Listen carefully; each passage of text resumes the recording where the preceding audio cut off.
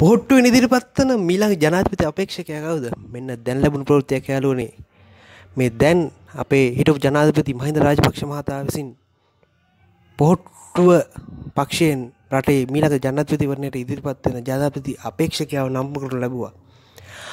ඔබ දැම්ම Arya production YouTube channel එක subscribe කරලා නැත්නම් දැම්ම subscribe කරන්න. පල්ලෙහා තියෙන bell icon එක all යන්න සක්‍රිය කරලා අපේ මේ වගේ උණුසුම් වීඩියෝස් දිනපතා ඔයාල් ළඟටම ගෙන්න ගන්න මතක් කරනවා.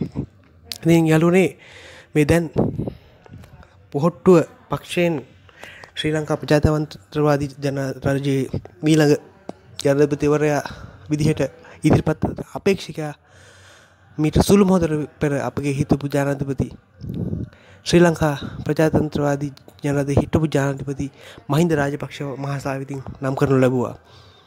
ඒ කවරක් නොව ඔයාලා හැමෝම බලාපොරොත්තු හිටපු අපි හැමෝම බලාපොරොත්තු හිටපු ගෝටාබය රාජපක්ෂ මහතා පොහොට්ටුව යන පක්ෂයේ මීළඟ ජනාධිපතිවරි අපක්ෂකයා වශයෙන් ගෝටාබේ රාජපක්ෂ මහතාව මිට සුල් මොහොතකට පෙර මහින්ද රාජපක්ෂ මහතා විසින් නම් කරන ලබවා.